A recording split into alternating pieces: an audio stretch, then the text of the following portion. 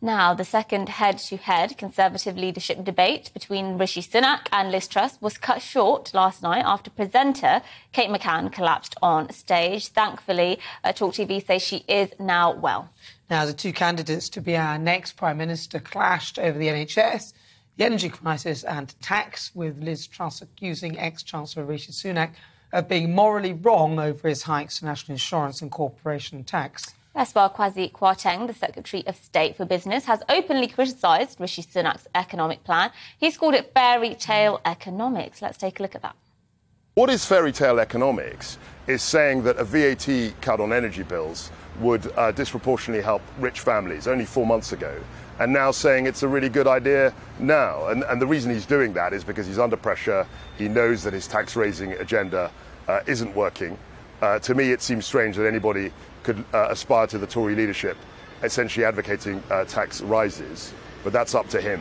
But I think he suddenly realised that he was on very dodgy ground there and is now flipping back uh, to saying that VAT uh, should be abolished or reduced on energy bills. That's the fairy tale. I call it more like an about turn, a U turn when you realise you're losing. Mm-hmm. Uh, but so many of you have been getting in touch and have been getting uh, sharing us your thoughts about the Tory leadership election.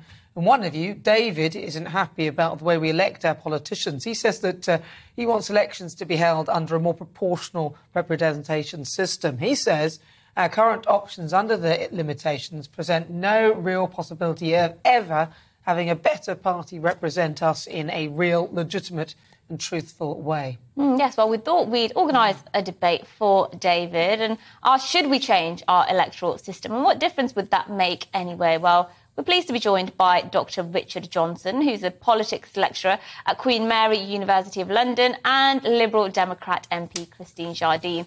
Welcome, both of you, to the programme. Um, Richard, uh, you heard our viewer uh, Dave there tell us his views about why he doesn't think it's our current electoral system is fair. What are your views on that? I think there are some good philosophical reasons why we might want to maintain the current electoral system. It, for me, it comes down to questions of clarity of responsibility and democratic accountability.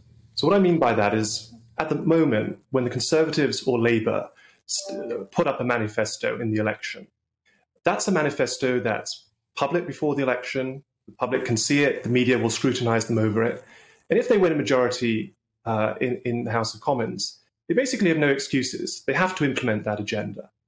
Under a proportional representation system, what's written in the manifesto isn't really worth the paper it's printed on, because those are just going to be bargaining chips for a post election coalition deal.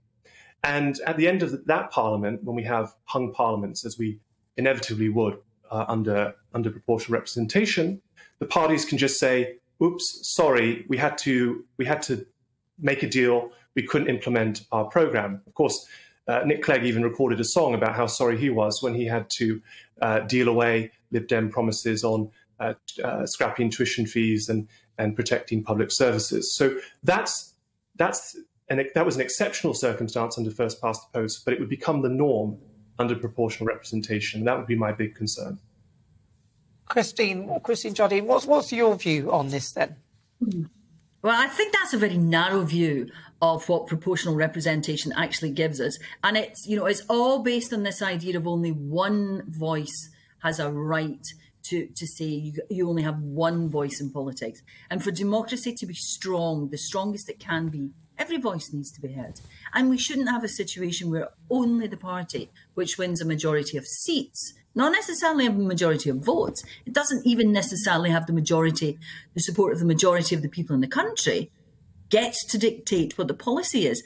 That is wrong. And we see it in Scotland, where we have three different types of, of a, electoral systems for each election. We have a single transferable vote in the councils for multi-member wards. We have the D'Hondt um, list system plus constituencies, constituencies plus a top-up list in the parliament. And we have first past the post in a general election. And what we found in the last general election was that the Scottish National Party got 45% of the vote, but 80% of the seats under first past the post. So theirs is the voice which is heard. And that is what we see across the UK. We see one voice, the voice which wins a majority of seats being the voice in government. Now, there are seats all over the country where the Liberal Democrats are in second place, or the Labour Party for that matter. They're in second place, and that voice is not being heard. The voice of other people is just as important as yeah. the, the one that gets the majority of seats. And that is what is missing without PR.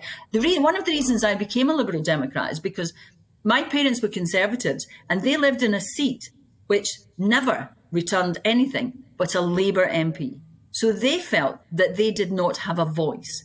That is wrong, that anyone feels in a modern democracy that they don't just, have a voice. Just before you go on, just because some people might not fully understand what proportional representation is. So, either one of you, who, who wants to explain it? Let, us go to you, Richard, since you're the politics lecturer.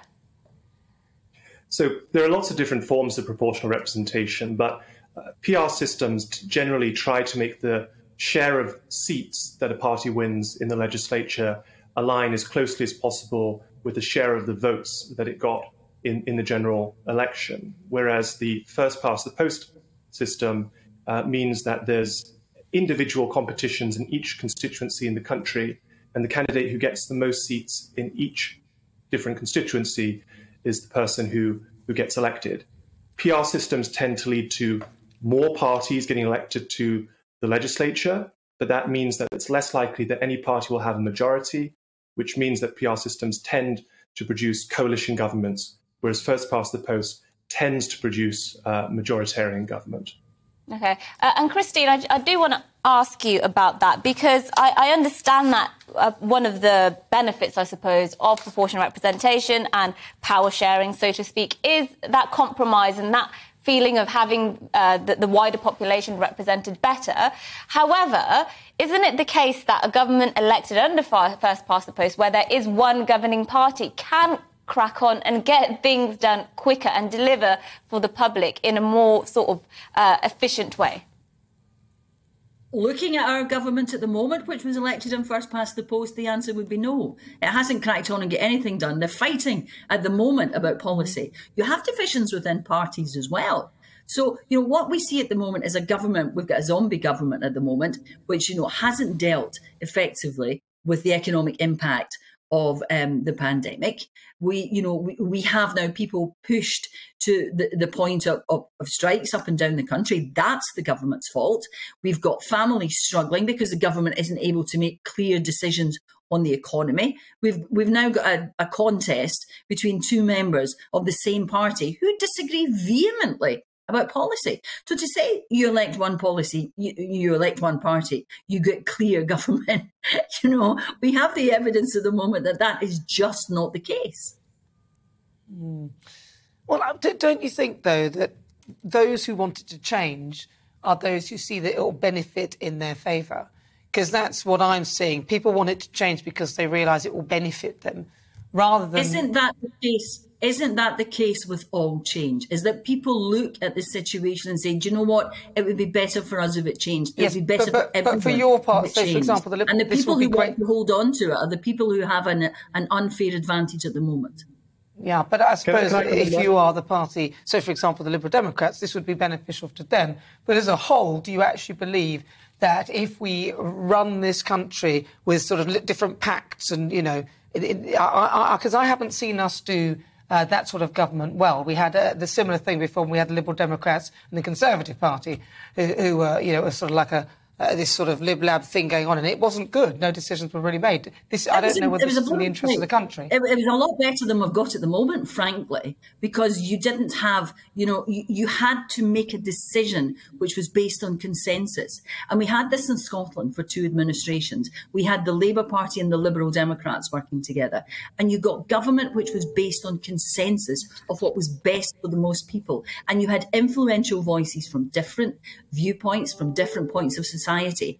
And, you know, anybody who runs anything will tell you that that is the best way to proceed, that you don't just have one voice, that you find a consensus. What what benefits most people. And that is what you get when you have PR. Mm. Now, the reason that Liberal Democrats are in favour of it is not because it would benefit us, but because it would yeah. benefit the people of the you country. Get a hung parliament, because it was a more consensual government. R Richard, I just want to bring you in because I could see you shaking yeah. your head. Uh, tell us why you're shaking your head. So fringe parties and minor parties love PR because not only does it give them hmm. a greater share of the seats in the legislature, but it gives them a disproportionate say in the formation of governments. And that's the key hmm. thing. So the PR reformers talk about the legislature, but it also has a big impact on the formation of the executive, the government. And quite frankly, I, I can quite understand why the Liberal Democrats would want PR, because it would make them effectively kingmakers after every election. Right? We haven't had uh, a general election in this country since 1945 where a party has won a majority of the popular vote, meaning that there would almost always be a hung parliament. And the Lib Dems have shown, uh, as has just been said, a willingness to go in with the Conservatives sometimes, sometimes with Labour. And so, what yeah. this means, actually, when people talk about fairness, I think it's very unfair that it would mean that the Lib Dems, much like the Liberals in Germany, are the ones who yeah. decide the government. So after the election, after the people have had the say, it's who, who, who they, you know, they can sell themselves to the highest bidder. Is it going to be a conservative or, or Labour? And that's, that's one of the real concerns I have about it. It's not just about who's in the legislature, but actually mm. who's in the executive, who's in government. Uh, uh, uh and Christine, very final, very final word to you, Christine. The problem. You very just final illustrated the problem. You said that there hasn't been a government in this country since the war that has won the popular vote. So what you're saying is that we've had governments since the war that the majority of people didn't want. Is that fair?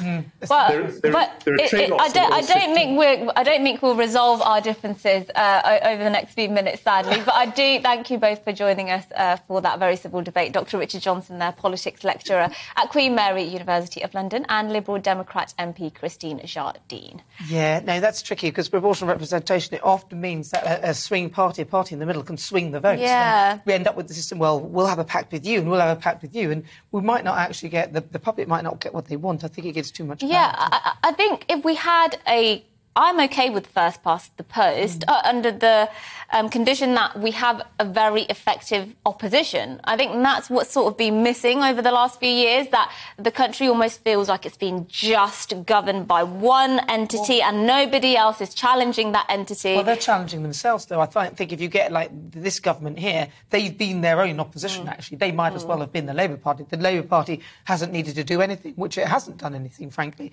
But uh, that's so it doesn't necessarily flow that just because you have the big mm. majority, because yeah. that's not what's happened here. The infighting is horrendous. I mean, but I didn't, massive majority. But I didn't like what happened before either. Do you mm. remember with Brexit and Theresa May had that tiny yeah. majority, and then there was also it was kind of like a hung parliament, and she mm. was a minority government, yeah. in, and it just doesn't work. What a mess, eh? What a mess. that's, that's the bottom line. Uh, let us know what you think. GBVs at gbnews.uk.